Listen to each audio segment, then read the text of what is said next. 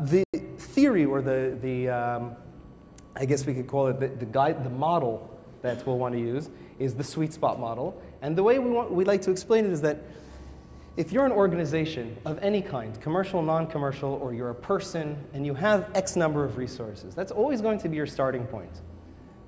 Any individual organization has finite resources. One of the main reasons to innovate is to increase those resources, that you'll, be, you'll thrive better. What are we going to do? So if you look historically, what companies have done in order to grow is that they started asking their customers, started asking their customers, listen, you know us. What else would you like from us? And what the research was showing is that you've been getting these near ideas, these ideas that help you expand your resource base, but they're really, really close in to your resources. A lot of times you'll get in voice of customer or marketing research uh, feedback that we want it bigger, we want it better, we want it stronger, we want it faster, we want it smaller. They're usually words that are in relation to aspects of your resources that they know today. It's just more of it or better of it. And these usually don't lead to the really innovative ideas. They just lead to small improvements or small uh, incremental innovations that you're able to come out with. Different people started realizing that that's not good enough, that you can't really get true innovation out of just asking uh, for voice of customer. And so they decided that what we need to do is create new processes, different ways to get you further out, to break through the er aspects of, uh, of innovation, the, the incremental aspects of expanding your resources. So what they did is they started developing processes. Probably the most well-known process that has actually become somewhat of a generic term for idea generation is brainstorming. Brainstorming started emerging in different places with different people uh, at that time. Um, and they started developing a method of how we can make sure to break free of these er and to get to the really innovative products or really innovative ideas and whatever we're working to innovate. In brainstorming, we want a lot of ideas. Chances are, statistics, that if you have a lot of different ideas, you'll probably have some gems in there. You'll probably have some really good ideas uh, in there. Now, I, I wanted to show you um, that basically, because of these three rules uh, of brainstorming, what you find is that you're very successful in breaking free of the er ideas. However, what the research has shown in recent years is that usually in a brainstorming process you get a little bit too far. You get to some really silly, out there, wacky ideas. Uh, and I wanted to show you a, a, quick film that you might be familiar with. It's a, it's a bu budget commercial um, I see some people smiling, so I guess some of you are familiar with it already. I think it demonstrates really well some of the rules that we've talked about about brainstorming. And what I want you to, to do is pay attention to the last line, the, the last sentence that they say during this commercial. Let's make the driving experience more enjoyable. We'll rent uh, Jaguars, town cars. And the Grand Marquis for $49. Oh, the cars will have uh, leather seats, a CD player. And aromatherapy candles. Mm.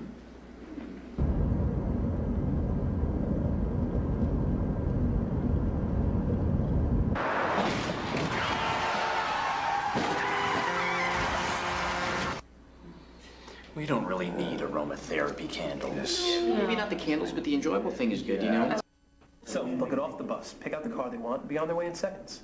We'll call it Fast Break, our fastest way to rent a car. Can we get people from the airport to their car quicker? We can if we give everyone jet propulsion packs. Back open the bleeder valve and fill the tank to 800 psi! What?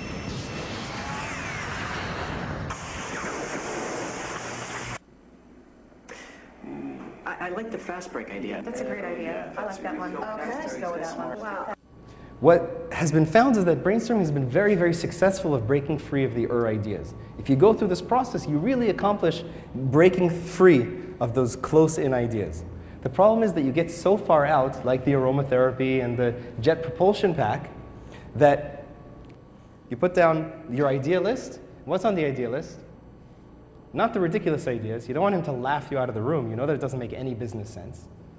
But what you're left with, if you take out all the wacky ideas, are the near ideas.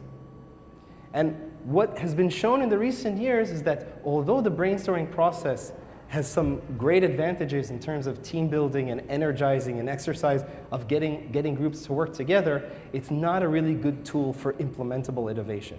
Because at the end of the process, you come out with these really wacky ideas, these weird ideas that you're not even willing to show to a decision maker uh, to get approval, and then you're just left with these near-in ideas. So it's a great mental exercise, uh, and it has other advantages, but it, it's not really good for innovation. Assuming that that's true, all that research that's been happening, so the near ideas, just asking the, your customers what they want isn't good enough to get innovative solutions. Doing brainstorming processes aren't good enough for the purpose of innovation. What you need really is to find that sweet spot, that area that is between the near-in ideas and the far-out ideas that are innovative enough that they're not just er ideas, that they're not just improvements on what you have, but they're not so far out that you can't even imagine implementing them. And what the SIT method is about is uh, working with a series of principles and tools to help you make sure that you're always generating uh, innovative ideas within this sweet zone, within the sweet spot, uh, making sure that you don't get too far out and making sure that you don't stay too close in. Technical problem solving aspect is going to serve as a platform for learning uh, some of the crucial uh, principles of the method that help us make sure that we're always within this sweet zone when we're looking for solutions to tough problems. So the problem I wanted to start with is, is a case study that we we ran into about uh, 10 years ago at least. Um, it was an issue with an antenna. Uh, a company had just won a tender, uh, a bid for manufacturing antenna, antennae for, uh, for a European country, a European military, in fact. Uh, and the goal of this European country was to be able to put these antennae slightly over the border to, in its surrounding, uh, surrounding countries. They're not really enemies, they were at peace, but they didn't want to take any risk. Uh, to just be able to make sure that there will be no mobilization of troops without them knowing. It was a, a cautious move. Uh, and in order to do so, they put out this bid uh, for companies that, that manufacture antennae. And they said that we're willing to work with the company that can provide us the cheapest option for these antennae as long as it meets three conditions. The conditions are as follows. The first one is that um, only one soldier or one person is needed to go into the enemy territory to set it up. We don't want it to be so heavy and so bulky and so complicated that we need to send in a whole platoon or a whole squad of people uh, because that might uh, look fishy to our, uh, to our neighbors. So it had to be light enough for one soldier. It also had to be maintenance free for at least three years, because we don't want to keep sending people in to, to fix whatever's wrong with it. So it has to have certain quality aspects of it. And the third one is that there's no downtime. We have to make sure that it's always transmitting and receiving uh, that way we're not missing anything. So not depending on time of year or weather or altitude or anything else, it always has to be transmitting and receiving. And the company that won this bid was able to do so because they were able to meet these three conditions and produce the cheapest option. It looked like it had a shaft, it had a crossbeam, it had antenna mechanisms that were kind of circular, and it had a small battery here to, to give it enough power for that three years so that they wouldn't have to keep replacing. So it had a power source uh, for about three years. And that's, that's it. That's how they were able to make the cheapest, uh, the cheapest option. And they won the bid. Uh, and as they were doing the uh, they were doing the, the simulations to make sure that it's working, they found that it works great, except in one condition. Because some of these antennae have to be placed on mountains, in mountainous regions, they didn't take into account that some of the year, or sometimes even many parts of the year, especially in Europe, there's snow that falls in the mountains. And what would happen is that the snow would fall and accumulate on the crossbeam and the antenna parts. When that happened, the temperature was so cold that it would freeze, it would become hard and heavy, and because of that, the weight would make the crossbeam break. Once the beam broke, it wasn't at the right height, it wasn't at the right functioning capacity uh, in order to be able to transmit and receive, and the whole thing uh, was terrible. Okay? So that's, that's their problem. Now they want to be able to still be able to keep that, uh, that bid, still keep the money, because governments pay pretty well uh, when, you win, when you win bids. Um, they want to keep it and solve the problem that they've encountered. So they still want to remain, retain the cheapest option uh, in solving this. Okay? Any questions about the situation? We're going to try to solve it for them now. Now, just to combine some of your comments, we'll go through some of the, the theories, and there are what's called the four characteristics of an inventive solution. Uh, it sounds much more interesting or, uh, or complex than it really is, but through research, there have been identified four characteristics of an inventive solution, which usually contribute to the inventiveness of the solution. Uh, the first one is called simplicity, It's something that uh, we haven't said. Simplicity says that the concept that underlies the solution is identical or very close to the most banal solution. It, in, uh, in clearer terms, it usually means that if you ask a child who never learned anything about engineering or physics or that specific problem, what should I do to solve the problem? It's something very close. The actual solution, the inventive solution, is very close to the answer that that, that child will give. In this case, usually they'll say strengthen the pole. Uh, they'll say somehow strengthen the pole, and now you have to find the ways to do it. And some of the other principles will help us find those ways. But uh, it usually means that that's the direction of the solution. Uh, for example, we were working with, with this company that makes scanners. Uh, anyone in the business of making scanners or electro-optic devices of some sort? The scanner, process, the scanner machine itself is a very, very simple machine. It has pretty much only three components. Uh, you put whatever the, the piece of paper that you're trying to scan on the glass. The light goes through that uh, piece of paper. It hits a mirror because otherwise the scanner would be a very weird shape. So it has to deflect the, the light information somehow. Hits the mirror, goes through a filter to clean out all the unnecessary information uh, that's in that uh, light, and it gets translated in the CCD into uh, electronic information. That's how, that's how a scanner works. Now, the company that we were working with uh, started to develop their next generation scanners, and they did something that I don't know if any of you do. They did what's called a pre-sell. As they were starting to develop it, or as they made a decision that they want to develop the next generation, they started selling it to their existing clients uh, in order to help finance the R&D investment. Any of you do that? Yeah. Um, so they put a price tag on it. They said, okay, this is what it's going to cost. If you order now, uh, when it's ready, you'll get it at that price. And they started developing it. And while they were developing it, they noticed that they made an error uh, in approximating the cost. And the error was that they forgot to account for the price of the filter. They priced everything great except for the filter. Uh, and the filter was a $100 component in uh, about an $800 product, which would seriously cut into your profitability uh, if now you have to sell it at that same price uh, to those pre-orders um, and swallow a $100 uh, loss. So, what does simplicity say? Yeah, make it without a filter. So don't use a filter, right? So simplicity says don't use a filter. Now, okay, it's, it's an interesting concept, but it doesn't give us the full solution, right? So let's not filter. Now we have to think about what are these elements that are there, that are still around, that can help us with the filtering uh, element. And what they came to realize again is that their, their mirror suppliers can make mirrors in any shape, any opacity, tinted, not tinted, and whatever. And mirrors have been known to do functions of filtering in certain cases.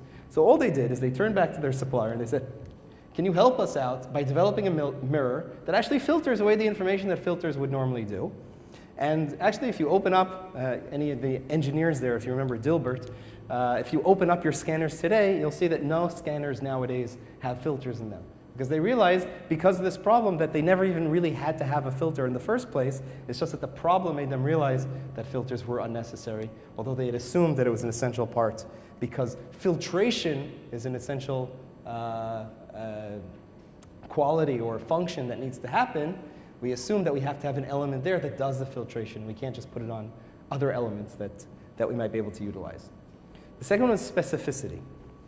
Specificity says that if you're looking at the problem, look at what's unique about the problem and not what's exactly the same about this problem versus other problems. So, for example, if in our antenna, the problem wasn't that uh, snow fell on the crossbeam, but uh, we had uh, birds landing on the crossbeam too much, and that made it too heavy. Would our solution work? Probably not. Because the solution has to be tied in very specifically, or it's better uh, if it's tied in very specifically with, with the problem. Um, anyone here ever own a original Volkswagen Beetle? Okay, yes. Um, do you know how the uh, windshield wiper mechanism worked? We have, we have some, some head nodding. For those of you who didn't have the original Beetle, there's a problem in the Beetle uh, that when uh, Volkswagen decided to go ahead and manufacture the car for the masses, the Volkswagen, the cheapest car available, the cheapest car possible, what they did, they made a lot of engineering changes to what a car would normally be. And one of the major changes that they did was they put the engine instead of in the front of the, instead of in the front of the car, they moved it to the back, to the trunk area. And by doing so, they were able to propel the car, push the car, or then pull the car like a normal engine would do. Uh, and it was a very interesting, innovative design. Now, because of that, usually in cars today, the, the way cars work is that the, uh, the mechanism for spraying water onto the windshield to clean off your windshield, the windshield wiper fluid, is attached to the motor. So the motor gives some power, sprays, sprays the water, uh, and that's great. But in the Volkswagen Beetle, because the engine was in the back, they had to find a solution. Now, they could, of course, make a, uh, a wire that connects it all the way from the back to the front. Probably not the best idea. Probably would add some sort of cost or make it uh, somewhat dangerous. Um, but they found a very interesting and probably an innovative solution uh, to, doing, to doing that. So now, who knows what they did? Okay, so if the, if the engine's in the front, the trunk is in, if the engine's in the back, the trunk is in the front. And inside the trunk is a spare tire. Now, the spare tire has air pressure. So what they did is they simply connected a tube from the spare tire to the reservoir of the, of the windshield wiper fluid. And you press the button, it releases of the air, sprayed onto the windshield wiper, sprayed the windshield wiper fluid onto the windshield, and it was great. It, but what happens when you need your spare tire? so, so of course, those are going to be the comments that you get when you start thinking of the innovative solutions. Of course, the challenges start coming up really quickly. But one of the things you have to realize is that before you assume that you know what the results are going to be, start testing it. And what they realized is that it uses so little air pressure that the average use of windshield wiper fluid, you could go more than three years without having to refill the air of your spare tire, uh, and it really doesn't have any effect on its functionality. Uh, so it was the solution that they implemented in the end. Some of you may have experienced that it didn't work after a while because a lot of the mechanics didn't know of this solution. It was too specific to the Beetle, and when you actually had to use the spare tire, get a new tire, and the mechanics put it back, uh, put the spare tire back in the trunk, they forgot to reconnect the hose. That was the only reason why it didn't work uh, sometimes. But the idea was that this connection of the tube is very specific to what's unique about the Beetle versus what we have in other cars. So if we searched other cars, other automobiles for this kind of solution, what do I do with uh, the windshield wiper fluid? It wouldn't have helped me there. I actually had to utilize the uniquenesses, the spare tire being in the front, in order to come up with the solution that's specific to the problem that I have. Um, before we move on, uh, I just wanted to to ask your help because, because uh, as Birgit mentioned, we travel the world. Um, I have a friend in the university system in Israel who is uh, doing some research, uh, biotech research, uh, and he feels that he's uh, found the vaccination, the, the vaccine inoculation for uh, the HIV virus. and he's done some tests on, on the rodents and he's gotten approval now in order to start on human beings, and he's trying to collect uh, some volunteers that are willing to uh, that are willing to participate in this experiment. Basically, what happens is that he'll inject you with just a little bit, a weakened version of HIV, uh, and that'll protect you and make sure that you never get uh, never get AIDS, you never contract the disease. So anyone here? I mean, we have 100 people here. We gotta have some volunteers. No, no one. Um, that, that's, the, that's the idea behind the third uh, characteristic, which is called the problem is the solution. Uh, as you saw in the antenna, the ice uh, actually became the solution for the problem. Originally it was the problem, and now it's both the problem and the solution. Uh, you can think back to Jonas Salk trying to go through that same process and convincing uh, people that vaccinations really work. All you need to do is take a, a weakened version of this virus or bacteria or whatever it is, uh, and, and you'll be safe. Don't worry, never get polio. Never. Uh, and it's a very difficult way for people to process information. Human beings aren't willing to accept that a problem, that the actual problem could be part of the solution. But if you notice some of the solutions to the biggest problems that are out there, uh, are problem is the solution, uh, solutions. So for example, you know how uh, forest rangers fight fires? They, they, they, do, a, they do a burn uh, in front of the fire, in front of the path of the fire, so that it has no more fuel left. So they actually add fire to the, to the forest in order to actively prevent the larger fire to, to continue. Now, one of the more important and crucial uh, problems that you probably deal with is also an example of that. Um, we have some white tablecloths here. Uh, if you have some red wine spilling on your, on your white tablecloth, uh, what do you do to get rid of it? Sorry? Spill more and make it red. Spill more, spill more and make it red. That's an interesting solution. So it's not, you didn't solve the problem, but uh, you somehow overcome uh, other obstacles. Uh, you can pour white wine on it before it, uh, before it starts uh, setting. Uh, and the chemistry of the grapes actually release the, the red stains from, from the tablecloth. So there are lots of solutions. Some of them are more practical in our day-to-day lives, some are less. Uh, but that's, that's an interesting problem as the solution uh, example where it's usually very difficult to think of how I can add more problem to the situation in order to find a solution, but it's a direction that you should definitely try to explore uh, if you're looking for something that's, uh, that's quite innovative. And the fourth one is something that, that you mentioned, it's called ideality. Ideality says that when the problem is there, the solution appears. When the problem's not there, since you don't need the solution, it doesn't really uh, influence anything, so it, it's not there. Um, an interesting example, I think, is uh, there, there's an issue when people start to gather in public areas when, let's say, there's a demonstration and a lot of people come. So usually, uh, the police, especially in New York City, they actually implemented this, uh, this Israeli uh, invention. Um, the NYPD, what they do is they sometimes have these very, very large uh, gatherings of people, and they want to keep them away from uh, the dignitary or whatever it is they're demonstrating against.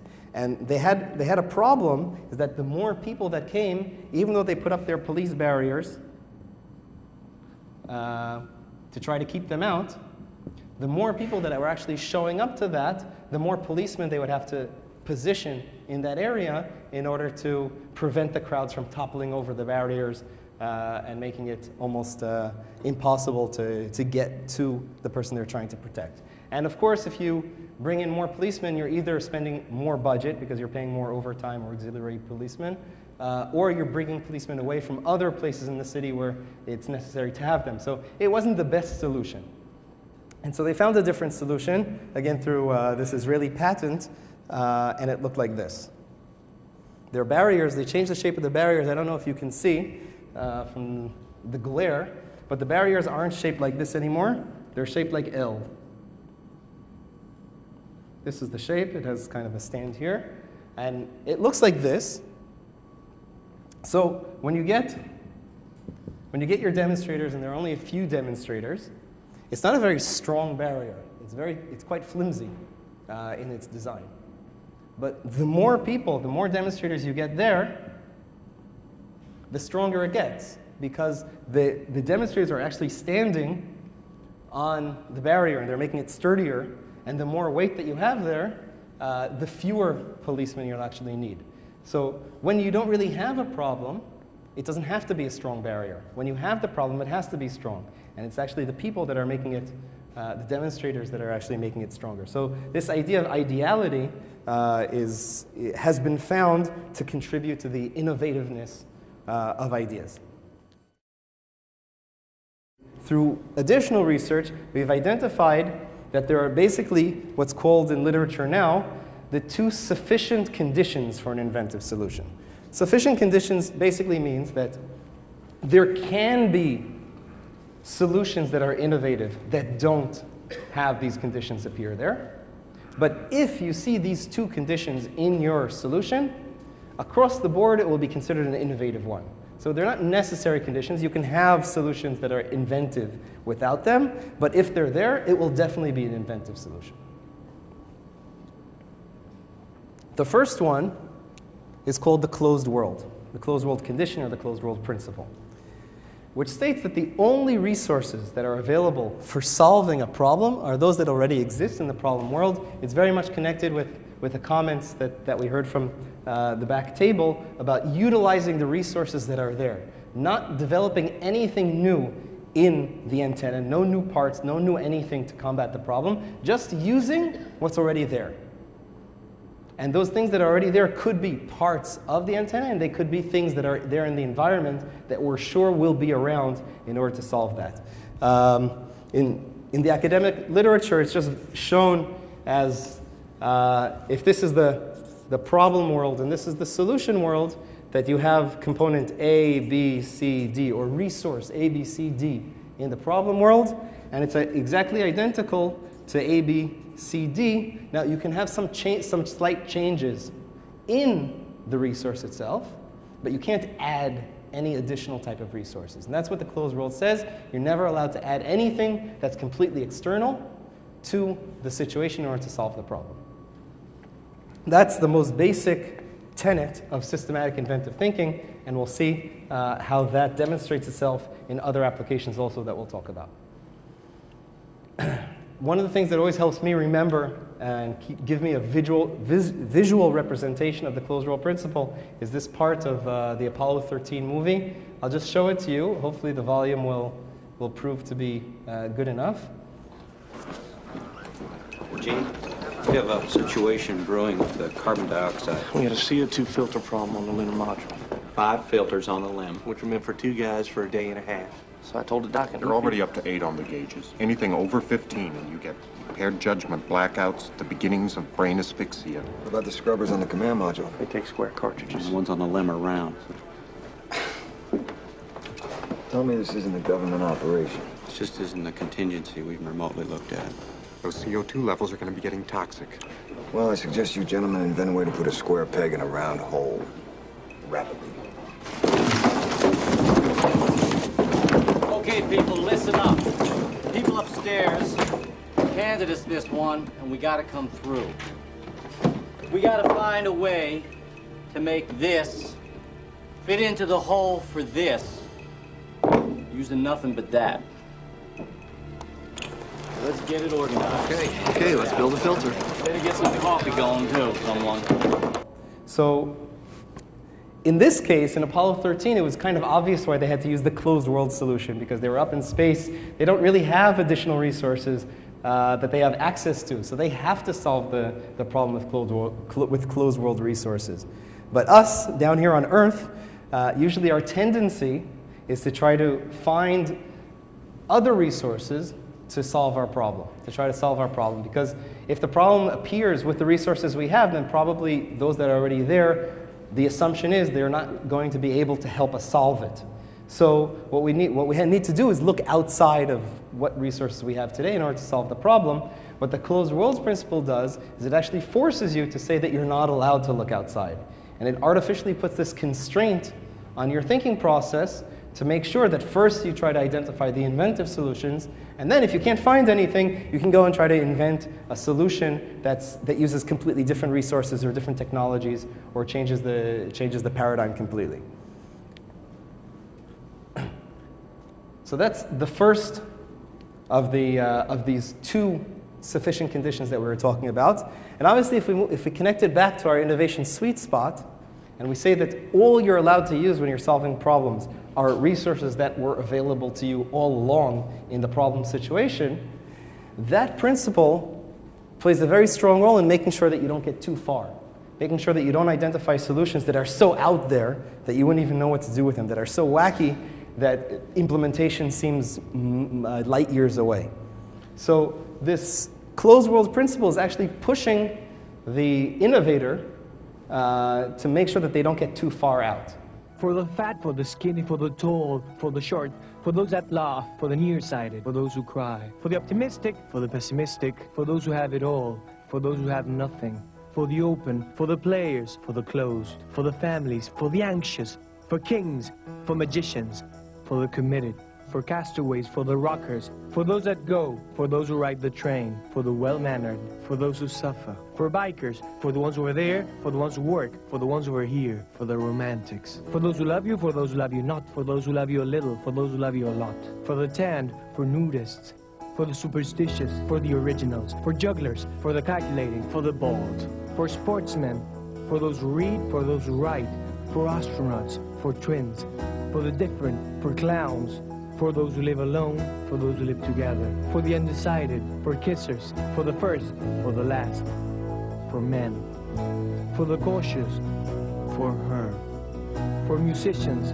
for the transparent, for the strong, for the ones who excel, for the ones who participate, for the ones who add, for the ones who won't be silent, for us, for everyone. You can think of probably million Coca-Cola commercials that use lots of uh, sports stars and pyrotechnics and lots of non-external world sort of elements to try to make it interesting.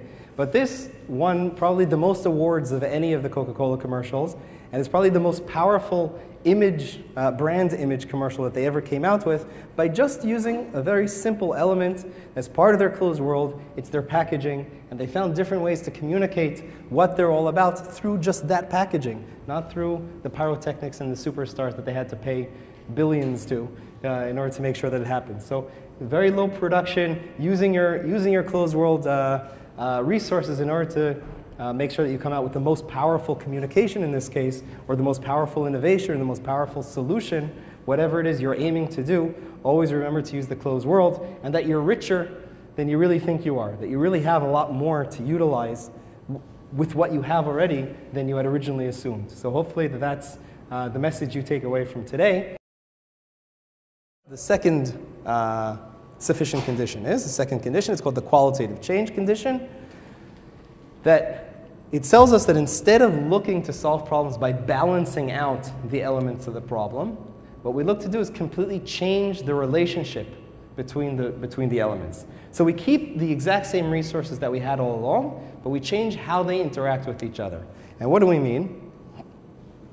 Let's say that this was uh, how we might graph out uh, the problem that we started with. We had the amount of ice, which is our worsening factor. It has a negative effect on the probability of collapse. So the more ice there is, the more probable that the antenna will collapse. We agree that that's how we would chart out our problem uh, in this original situation.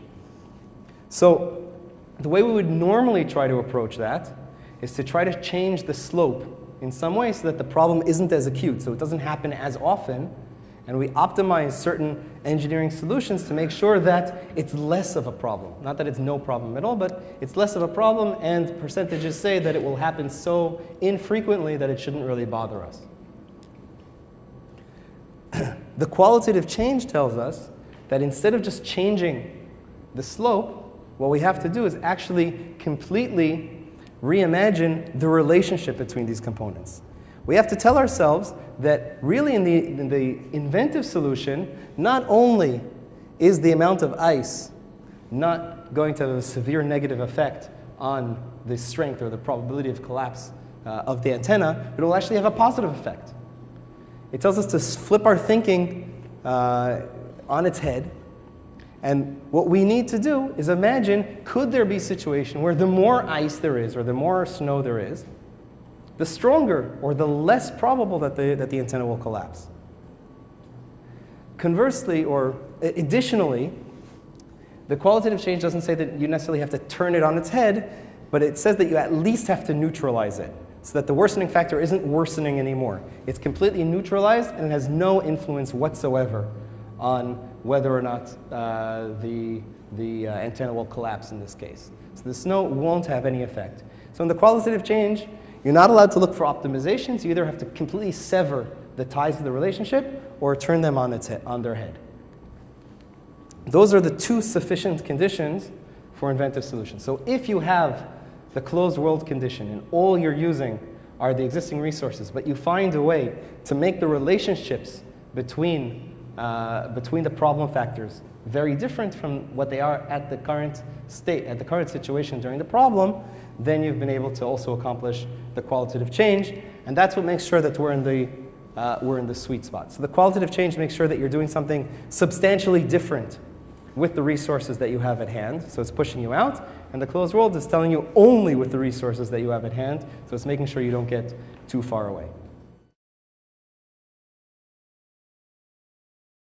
What you started going through is the beginning of the process that we implement uh, at SIT when we want to develop new products or come out with completely new value uh, to consumers. And uh, this process starts at kind of the first stage where I ask you to identify a product that you both like.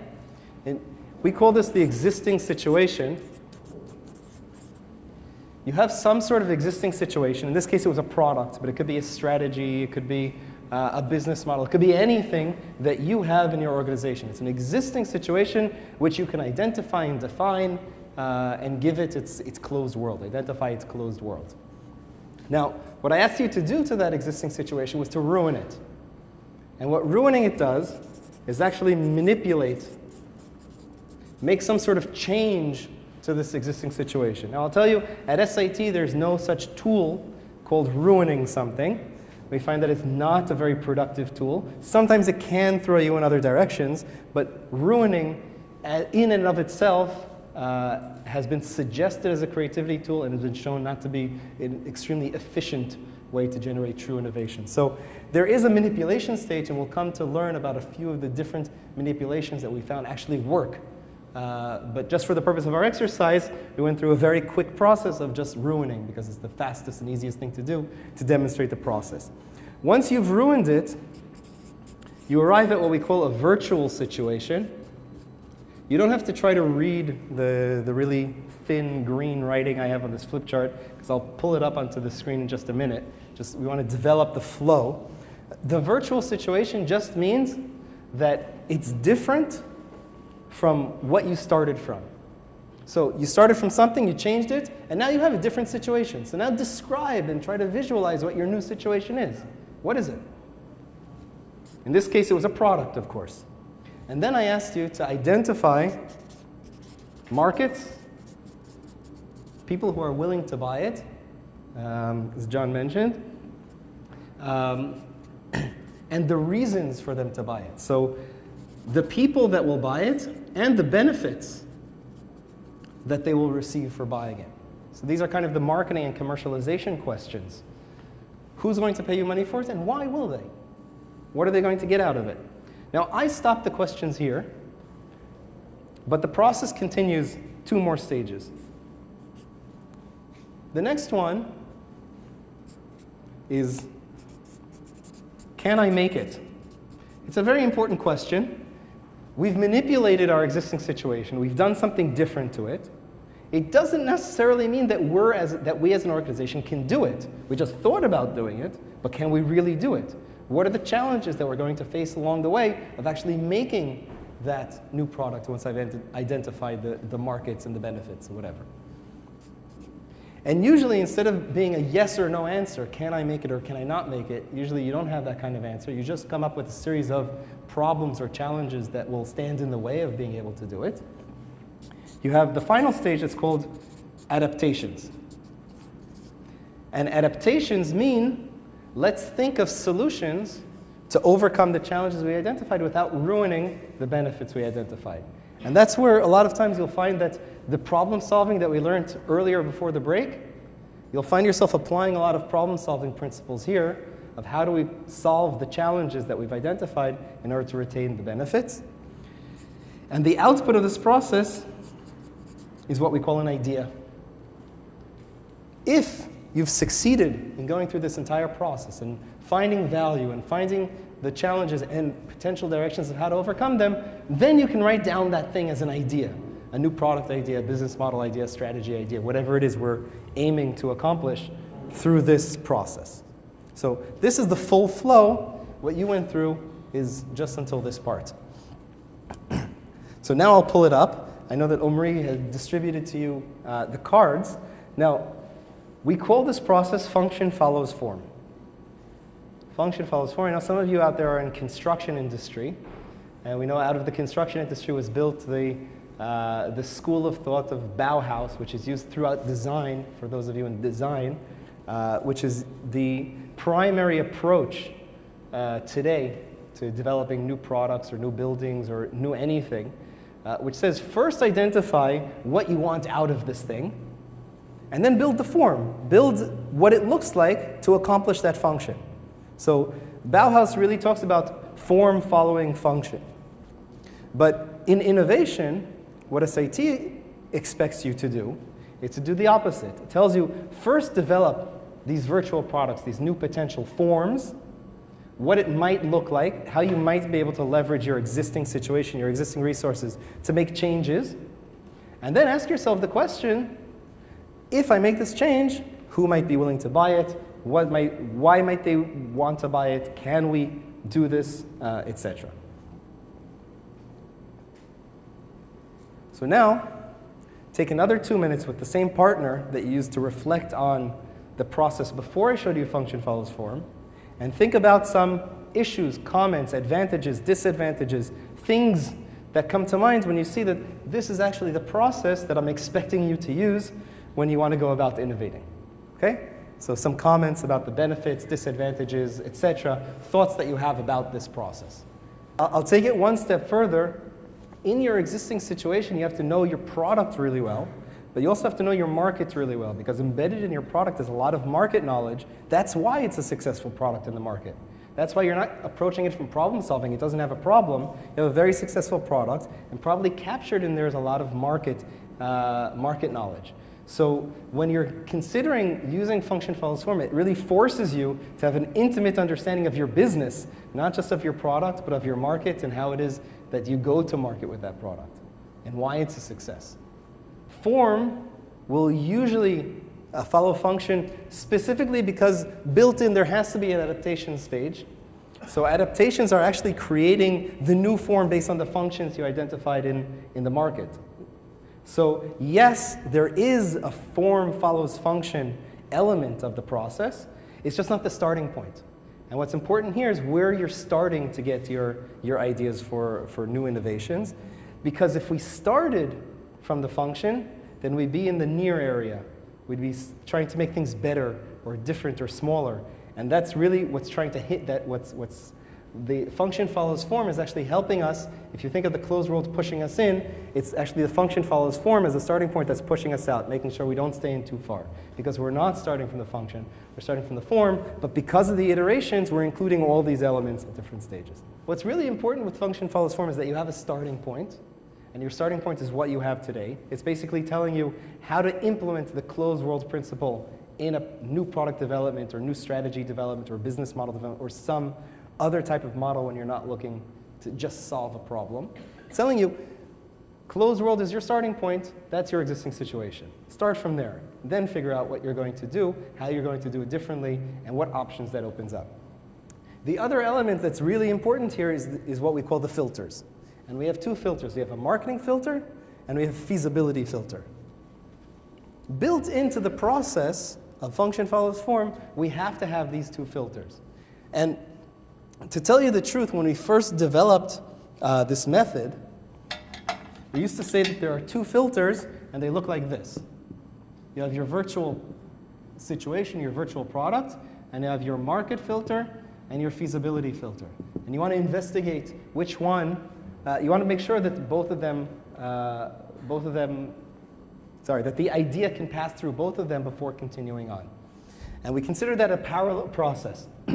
But as we've gotten more experience using this method uh, across industries, we've realized that it's not a parallel process, that the market filter comes before the feasibility filter. Any thoughts on why we came to that conclusion?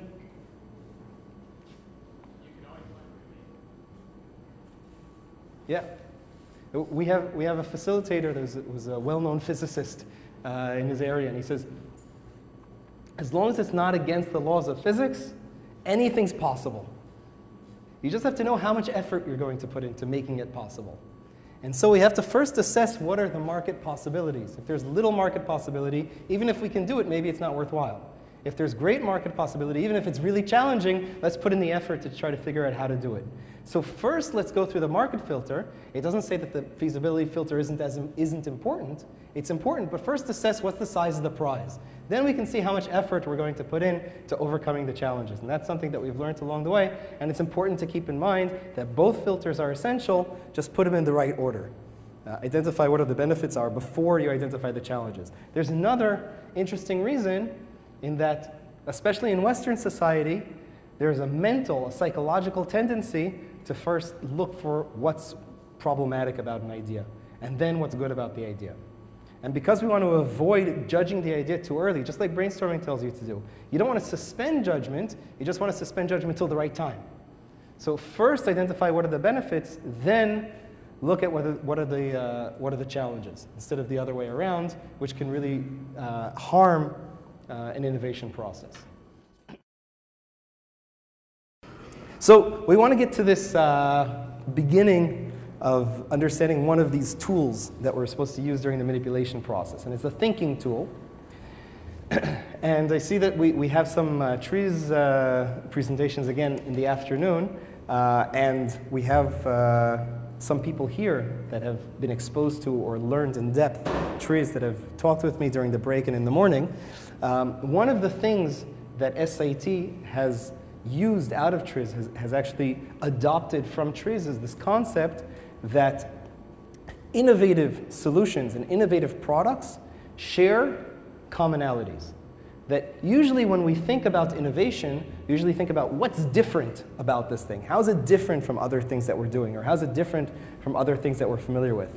What TRIZ and what SIT also does is it tries to look at, assuming that all these things that we have in front of us are innovative things, what's in common between them? Can we identify what is unique about them that's not unique about all these other things that aren't successful or that aren't innovative?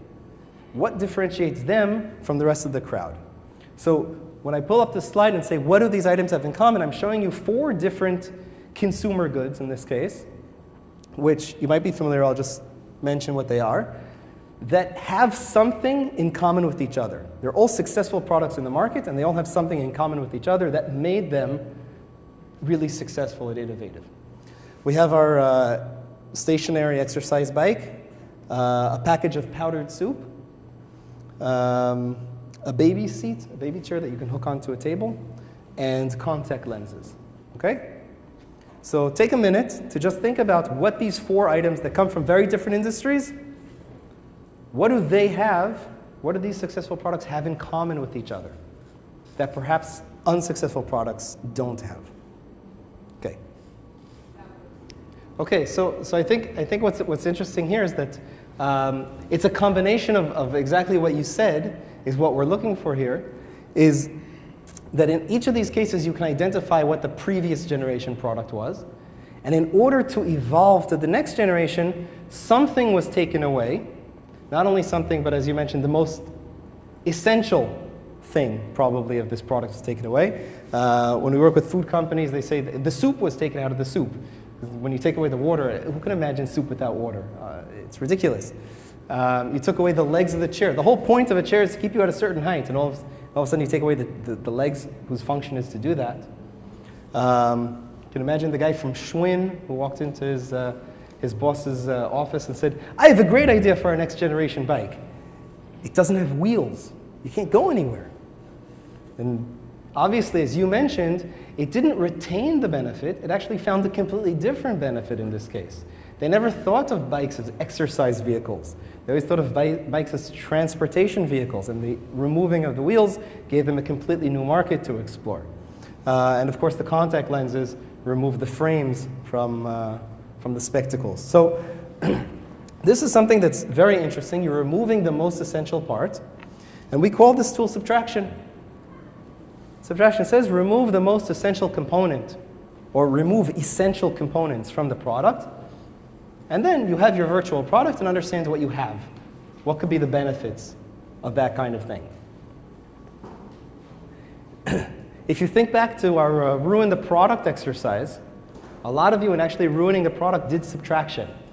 Because one of the interesting things about subtraction is that a lot of times it's considered a ruining process.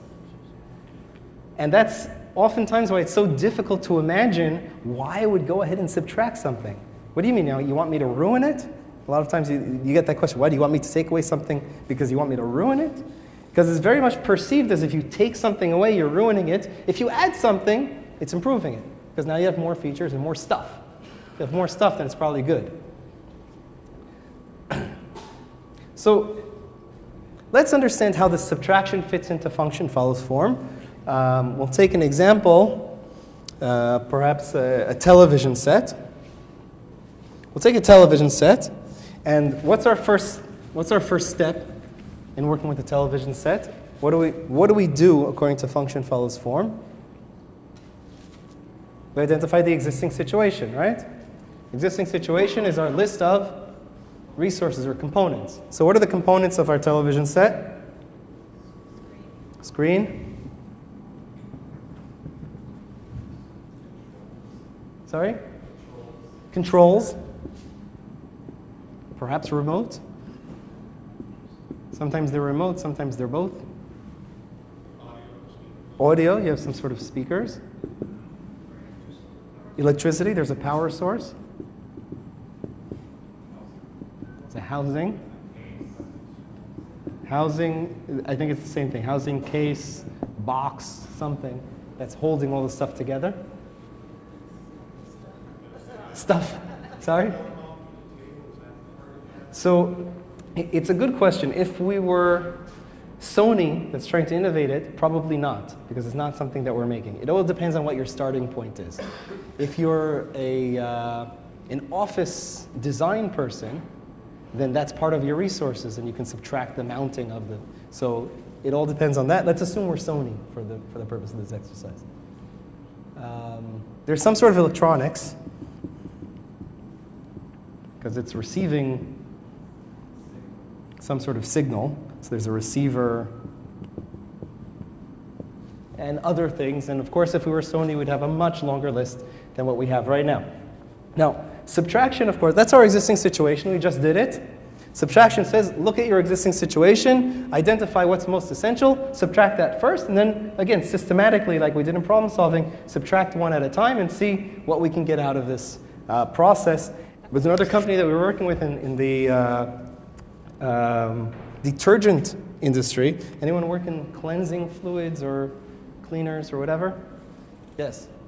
Um, if you think about a detergent, let's say a laundry detergent, basically it's very basic chemistry. And if you think about the components, you once again run into uh, very few components in your detergent. You have some sort of active ingredient, you, because the active ingredient usually stinks pretty bad, uh, you put in some sort of perfume because you don't want your clothing to stink. Because you have those two, which usually which don't necessarily blend very well together, you have some sort of binder. If it's liquid, you have water. If it's powder, you don't. And you have a package. So those are pretty much your components. And now you're told, now I have to do subtraction. What's your most essential component in your detergent? The active ingredient. So now let's take away the active ingredient. You're detergent maker. Now you have a detergent without an active ingredient. But it has, let's, let's define our virtual product right. It has perfume, binder, and package. You're selling some sort of perfume with binder and a package as a detergent, but it doesn't clean. Okay? Now, what are your markets? What are your benefits? I see that you're smiling, so it's ridiculous enough that we want to explore. It smells good. It smells good. It'll clean things that aren't dirty. That's great. Now, when somebody said that in the room, they said, it'll clean things that aren't dirty. Again, one of the market research pe people pipes up and says, you know what? We've been getting this feedback, or we've been observing more appropriately, through our empathic design, that a lot of people throw their clothes in the laundry not because they're soiled, But because they're not fresh anymore, you wore them once, so your shirt's not dirty, but you put it on your chair or you hang it in your closet or whatever, you know that you've worn it once, and then a few days later you come back and you say, No, I'm not going to wear that, I already wore it, and you throw it in the hamper. Does that ever happen to you? It happens most of the time. Most clothing doesn't really need to have active ingredient in it. It just needs to be able to go through the process. Now, the active ingredient is really bad on your clothing. It's a really tough uh, chemical that wears down the clothing. It's the most, it's the biggest reason for the typical wear down of clothing, except for kids who abuse their clothing. But if you think about it, you've just identified that you can sell a detergent that you use for your non-soiled clothing. This is the detergent that you use on a regular basis when you don't have really dirty clothes. And what they noticed, because in the room we also had the regulatory people, regulatory people says, well, you can't call that a detergent. It's against the, it's against the law to call that a detergent. So what they called it instead was a laundry refresher. And they started marketing this as a laundry refresher. And you'll see that there are some in the market today. Uh, Febreze is the, is the, is the best well-known of these versions. Um, that is basically just perfume. It has a little bit of active ingredient because we do want it to clean just a little bit, get the sweat off or whatever is, is making it not, uh, not fresh. It has a package and it has the, the binder to, to do that. And it's really, the, the marketing promise is it doesn't wear down your clothes, uh, and this is for your non-soiled clothing. And it really just a completely new line, a new, a new category of detergents that this company was able to open up uh, because of this ridiculous subtraction exercise of taking away the most essential piece, most essential components of something that has almost no components.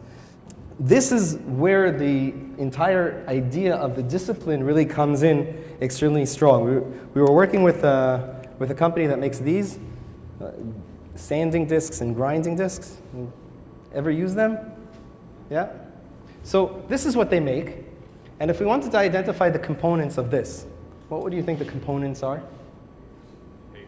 Paper. We have a paper backing. Sand or some sort of abrasive. Adhesive that keeps the abrasive on the paper. And if we're really desperate, we can call a hole a component uh, because we're running out of things. Um, and you can say that the whole thing, the disk itself, is a component. It looks like one piece, so maybe that's a component. So again, in a very structured way, what we, what we would do is we want to subtract each of these components one at a time. One of the things that we did in this process was to say, let's say we subtract the disk. Subtract the disk. We have the whole, but let's subtract the disk.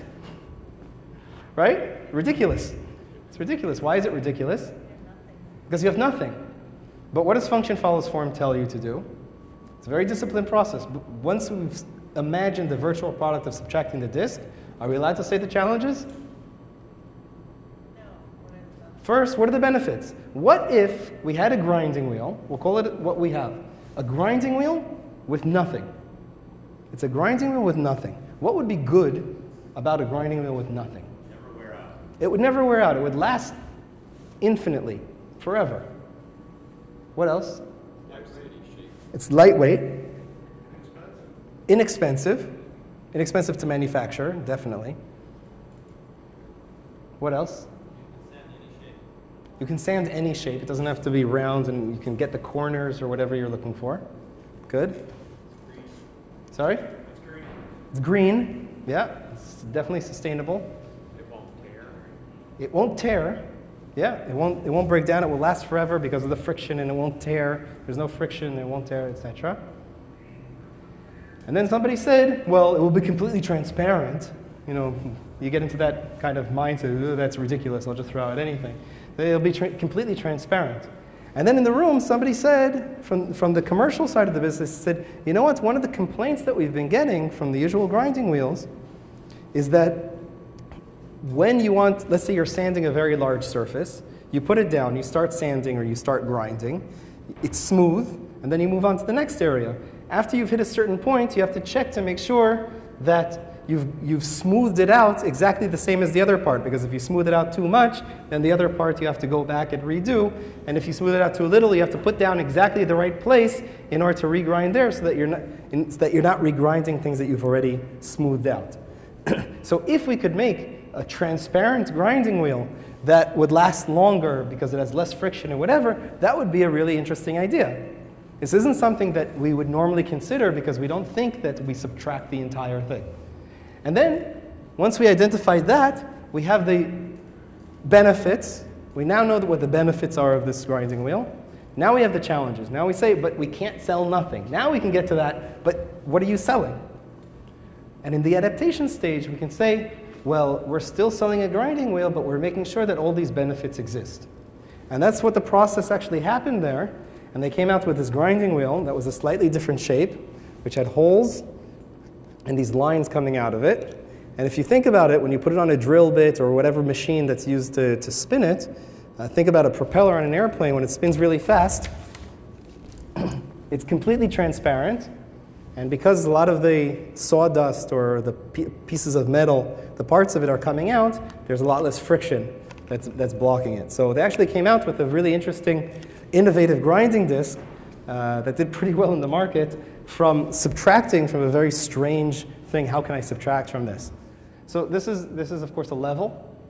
It's sometimes called the bubble level or spirit level, as opposed to what's used a lot of times today as a laser level. And there's a company, a very small company, in fact, um, that what they do, that now they make laser levels, but when they called us in, they said, listen, we make spirit levels. We don't have the, the uh, capital right now to invest in the new technology that's coming out of laser levels. So in order to combat that, we're going to want, we want to be the innovation company on spirit levels, on bubble levels. Now, do you know when the, the bubble level was invented? The spirit level was invented? Long ago, that's right. the first documented case was with the Egyptians building the pyramids. So it's at least 3,000 years, just over 3,000 years at least.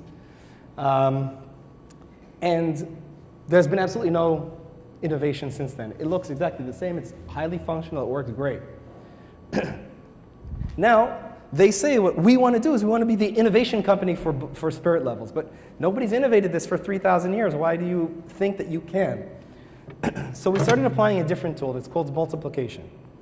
Multiplication, again, tells you your existing situation is your components. What are your components here? You have your vial with a bubble inside, your sheathing, your kind of casing, and you sometimes have handles on the side, and that's pretty much what your bubble level is made of. so in multiplication, you take each one of those things and you add more copies of it. One copy, two copies, three copies. It's still closed world because you're not adding new things, you're just adding more copies of the same thing. But the interesting thing is that with multiplication, you have to make some sort of change to the copies. Some sort of change to the copies. So they have to be different one from the other in some way. Uh, if you think about the example of uh, the Gillette razor, uh, their first innovation, their, um, I, th I, think they even called it maybe the, the double before they went into all the Mach, whatever. Um, their innovation was that they added an extra blade to the level, right? Uh, to, the, to the razor. Add an extra blade. But that's not very innovative to just add more of something, as you saw in subtraction. That's what we usually do. But what they did, or at least they communicated, is that one blade, you remember this? One blade lifts and the other one cuts. And the result is a closer shave. So it's not just a, uh, a sharper blade, it's two blades at, at different angles to have the result, the benefit of a closer shave. So that's what multiplication basically means. You add another razor, another blade, but it's different, it's at a different angle. And here, they did the same thing. They added more bubbles, more vials, and the variable that we chose, we went through several variables. We could have done it with color, we could have done it with position on the, on, the, on the shaft, and we did it with all these things. One of the things they said was the angle. So now you have a level that measures zero degree slope, one degree, and two degrees. Who might want to buy this? Now this is your virtual product. Who might want this? What are the benefits? What are the markets? Drain water, Drain water from a deck, from a roof, in a bathtub, uh, a, a, large facility that has a lot of piping, and you have to make sure that you have angles that are as minimal as possible for the drainage so that it doesn't take up too much room. All these things, uh, it would be really good for. But you had all these needs beforehand. So what did people do before that? Hmm? Yeah. So some of them would actually shim it. They would cut off part of it, but then you couldn't use it as a regular level. You had to use it only for that. Uh, some would have would actually bang nails into it that they would be able, and then they'd have an approximate slope. They didn't know exactly what the slope is, but they knew it wasn't straight. Some used the, the cigarette carton trick, where you put a cigarette carton on the bottom and then you tape it so you, you don't know what the slope is, but it's pretty much standard whatever you're doing because the cigarette carton's the right, the standard size. So people were finding their own ways to accomplish this. But only through multiplication they finally came out with uh, this product, um, which they have as, as, uh, as, as a sloped level. Uh, they call it a top grade, as a gradient level uh, that was pretty successful in the market um, for that. You can pass it around if anyone's interested in looking at it.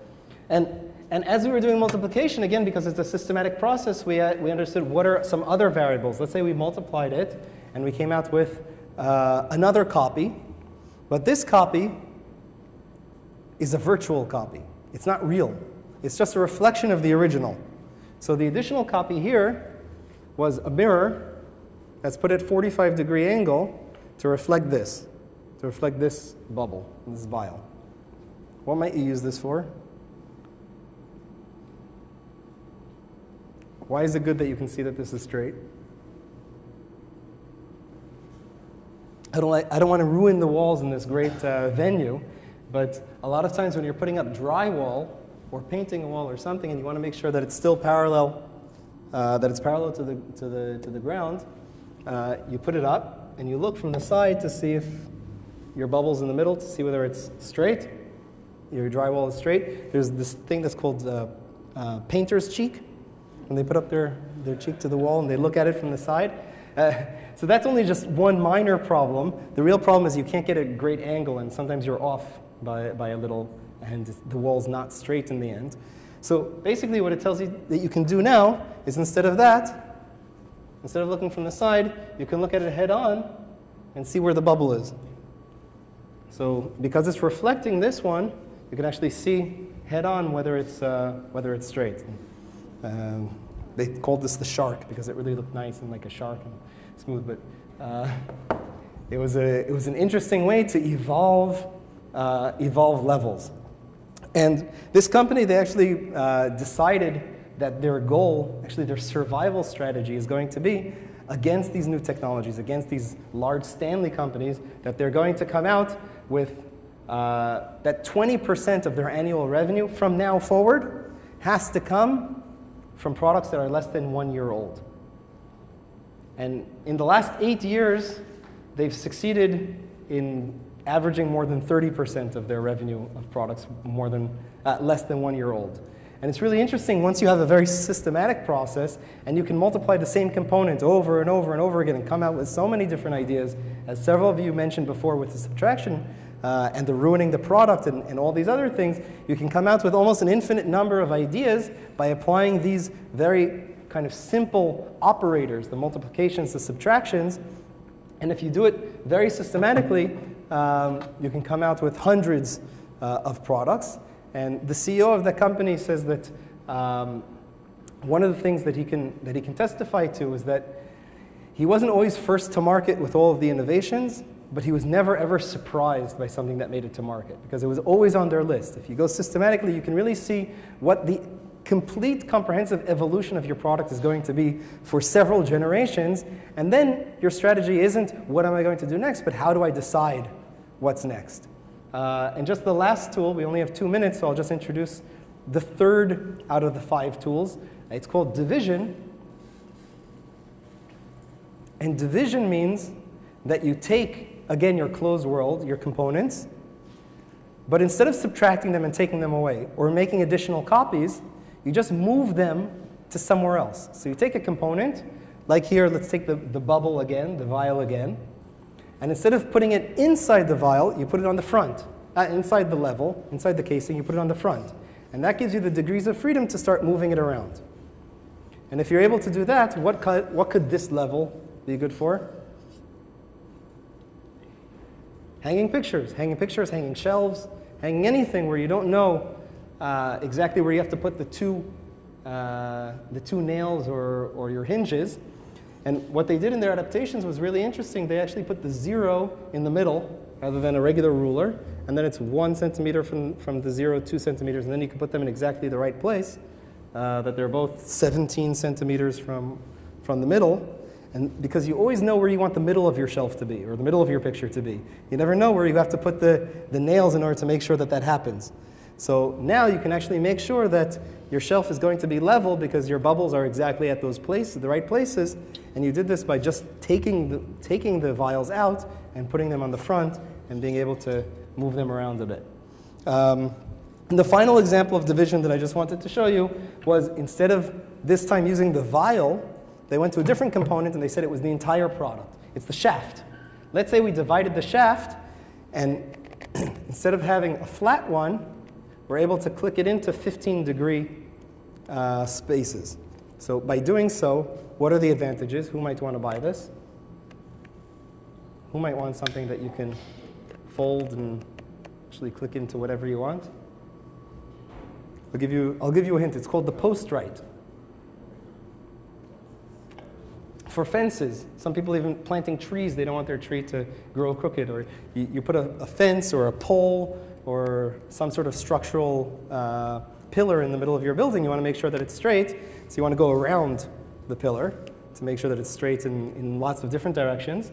And so they were able to do this. There was actually on the market a, a level that was 90 degrees, but nobody was buying it because it couldn't fit into a toolbox. It didn't fit anywhere. Um, so they actually, when they came up with this concept of division, of making it clickable into 15 degree angles, they actually made it the right size so that it can fit into any pocket. This, these pockets are closed, so uh, you, can, you can test it on yourselves. It fits into any pocket uh, and definitely into, into toolboxes. So it's very portable and it accomplishes all the things that, uh, that a normal level would do. So, so if this is the, the process and this is uh, subtraction, you'll notice that some of the ideas that came up were very different from each other. You can actually classify them into two or, or more categories of ideas, and I just wanted to demonstrate that. If our starting point is an existing process, an existing product in this case, our typical inclination would be to add something right? Whenever we want to make, create more value, we add something to it. What we tell you to do by doing the subtraction tool is actually to not add something, let's block that path, and remove something. Remove something that's in fact essential. Now, when we remove something that's essential, you'll hear that the first few ideas that normally come up are replaced with something. Maybe we have other screens that are available to us, and let's identify all those other screens that are, that are around. So we took away our screen but we didn't really take away the function together with it. We're still applying that function. That's what our tendency would normally be to do when going through this psychological process. And therefore, we tell ourselves, don't do that. First, let's identify all the options of a screenless television and you can't see. Look at all the possibilities that we found. We found for the hard of hearing and for the drivers and for the sports fans and for the, the blind and for others that we'd be able to identify. Now, once we've identified that, we can go back to our replace with something. It's interesting that you first mentioned replace with screens that are available. Usually the tendency would be replace with something externally. Um, we had somebody say maybe we'll make glasses or goggles or something specifically for that, that the new person can see. If you didn't learn about closed world earlier today, uh, usually those are the kinds of ideas that come up. Let's first make something dedicated to this new product. And then we'll see what can we use in the closed world in order to accomplish that screen. So this process that we tell you to go through, the existing product, instead of adding go remove something, instead of replacing what you, instead of replacing the component, you figure out the as is benefits. Then replace with something, but first close world something, and then uh, the external something, the completely new technology something, we call that the path of most resistance. The path of most resistance. and it's very important as an innovation process to be aware that when we want to innovate, we want to pay attention to what would we normally do, and now let's do the opposite. Not because what we normally do isn't good, just because it will deflect our attention, uh, it will divert our attention from areas that are perhaps very fruitful that we normally wouldn't think of. So let's force ourselves to go to those places where we wouldn't normally explore before we go to the easier places, to the places that we would normally think about. It usually also leads to more differentiated products because our competitors are probably going the easier route, the path of least resistance when they're thinking of new products. Uh, and we have the benefit of now being aware of exploring completely different new ground. Uh, one of the things that uh, helps me remember this path of most resistance principle that we should always look for the way, be, I, be aware of how we normally think and try to force ourselves to think in the opposite way is, uh, let's see, is this, uh, there's a Seinfeld episode uh, where you see George, who's frustrated with his life. Uh, George, you know that woman just looked at you. So what? What am I supposed to do? Go talk to her. Elaine, bald men with no jobs and no money who live with their parents don't approach strange women. Well, here's your chance to try the opposite. Instead of tuna salad and being intimidated by women, chicken salad and going right up to them. Yeah, I should do the opposite. I should. If every instinct you have is wrong, then the opposite would have to be right. Yes. I will do the opposite. I used to sit here and do nothing and regret it for the rest of the day. So now I will do the opposite and I will do something.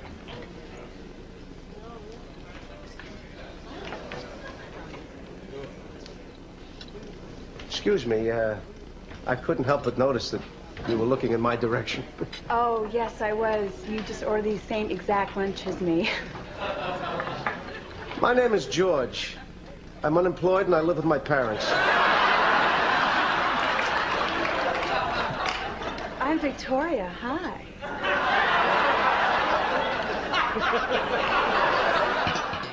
So, so do the opposite when you want to innovate.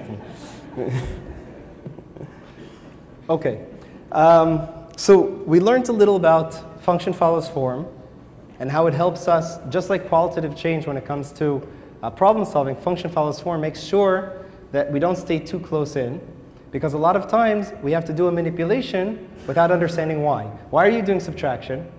Why did you just do subtraction to the television set? Because I told you to. Why did I tell you to? Because it was identified as a commonality between successful products in the past or between successful solutions and strategies. So if we know that subtraction is at the core, at the DNA of successful innovations or the way that we should, uh, or successes or innovations, if we know that it's there, it means that we should try to make sure that when we want to innovate, let's subtract something from our product. Not because we thought that it might make sense, just because the fact is, empirically, it works. It works a lot of time. So, by applying this subtraction tool and applying it properly through the path of most resistance, it forces us to do things, it forces us to push away from what we normally do. Actually, we're kind of ruining it because that's what subtraction is in a lot of our minds. We're ruining something, we're pushing away from where we are today beyond the er ideas, behind, beyond just make it better or, or worse or, or, better, smaller, faster, uh, cheaper, whatever. The fact that we have to do it mechanically only because the method tells me to do it, and it tells me very specifically to subtract it, that's why I'm doing it, and that's how it helps me push out.